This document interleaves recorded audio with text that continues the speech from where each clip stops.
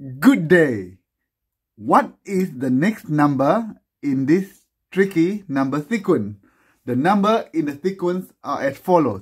It starts with 4, followed by 2, 3, 4, 6, 2, 4, and a question mark. As usual, we need to find what numbers represent the question mark. If you want to have a go at this puzzle, press the pause button now. But if you want to know the solution, keep watching.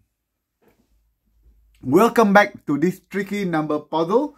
And the question is, what is the next number in this sequence? The numbers are as follows.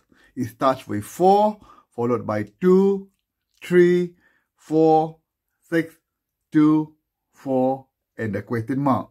What numbers represent the question mark? Can you solve it? Hopefully you can because this is a very tricky number sequence. It doesn't involve any calculation at all. There's no multiplication, there's no addition, there's no subtraction or no division in this puzzle. If you look at number 4, there are 4 letters in the what? Why? 1, 2, 3, 4. So what? There's 4 letters. Is there 2? The is 3 letters. Next is 4. Number is 6. In is 2. This is 4. And sequence 1, 2, 3, 4, 5, 6, 7, 8. So the question mark is equals to 8.